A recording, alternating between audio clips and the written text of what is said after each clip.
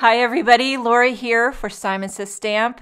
Thank you so much for joining me today. I've got a springy, Easter themed project to share with you featuring the layered tulips stencil set. This came out in the Lucky to Know You release. You get four mini stencils that you can layer to create beautiful dimension and interest with tulips. So I'm going to start, and I do go through quite a bit of post-it tape. What can I say? I try to be thrifty and reuse the pieces when I can, but the reality is I just use an obscene amount of post-it tape in general, but what can I say? Okay, first tulip is pink. I'm using Distress Mini ink cubes. Any inks will work. Um, starting with spun sugar and worn lipstick. And when I saw these tulips, I immediately thought of Aldi. I grocery shop most often at Aldi. It's a six minute walk. I do it every day except for Sunday.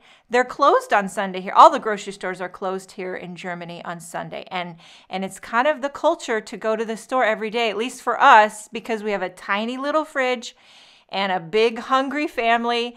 And another thing, the food, like if you buy bread, like crusty delicious bread, it doesn't last. You get one, maybe two days if you're lucky. So you got to go often to the store.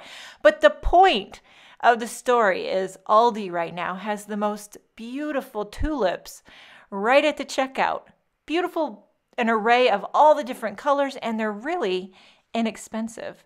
I haven't bought any, but I might just treat myself one of these days to some tulips. So in my ink blending here, I um, did each tulip a different color. It was a little extra work. I think it's definitely worth it. Of course, you don't have to do that. I've seen lots of beautiful cards with all the same color tulips. You know, when you buy the bouquets, it's usually one color. I would actually love to get a bouquet with all different colors. You know me. I mean, if I could get a rainbow tulip bouquet, I'd be all over that one. Anyway, back to Aldi. They have amazing produce. Even back home, I thought Aldi's produce was great in America, but in Germany here, it's fantastic. Some of the differences that I've noticed are a plethora of red bell peppers here. And they're inexpensive. Back home, I felt like that was more of an expense. You know, generally I would get green bell peppers. Here, it's the red bell peppers.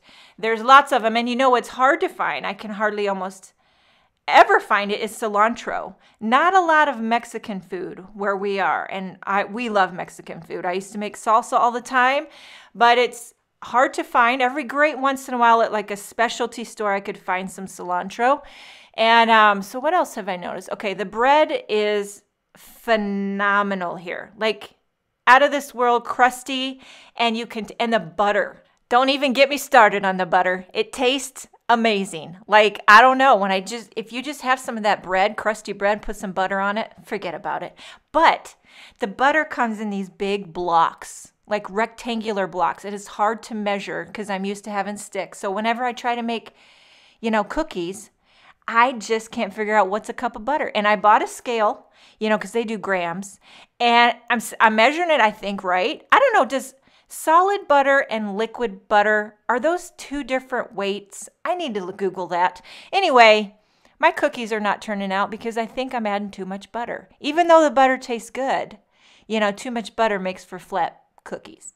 Anyway, while I'm blabbing away about butter, I moved on to the sentiment. I'm using the He Is Risen word die designed by Cathy Zielske, and I love it's perfect for Easter. I did the word die out of gold foil and the backer out of vellum.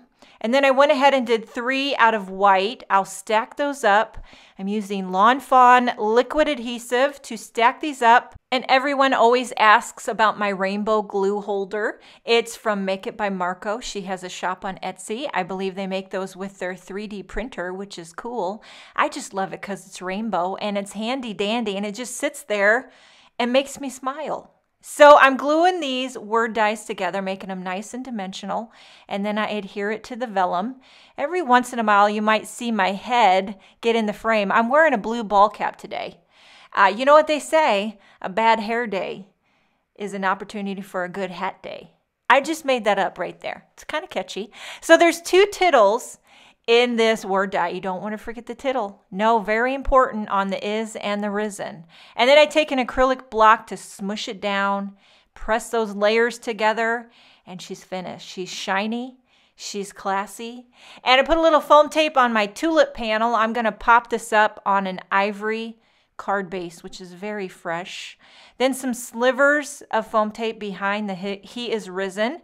And I shimmy and futz with this sentiment, moving it all around when you and I both know it's going to end up right in the center. Who's kidding who?